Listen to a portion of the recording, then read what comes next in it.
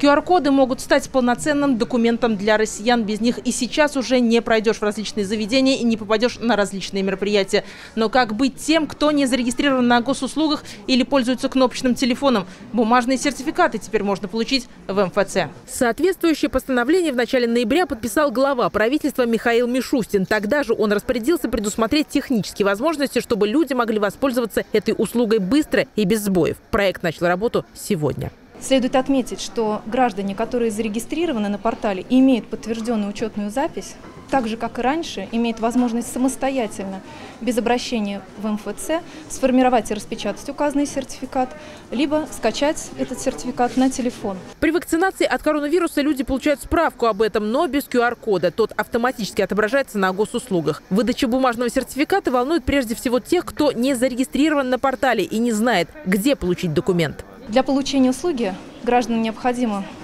обратиться с заявлением и представить следующие документы. Документ, удостоверяющий личность, документ, подтверждающий полномочия представителя-заявителя, в случае, если обращается представитель заявителя, СНИЛС – при наличии и полис обязательного медицинского страхования, тоже при наличии.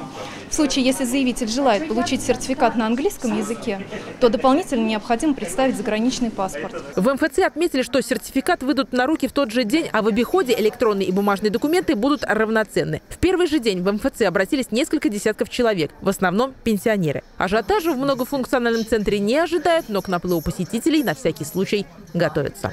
Наталья Тюрина, Павел Плабаев. Наш новости.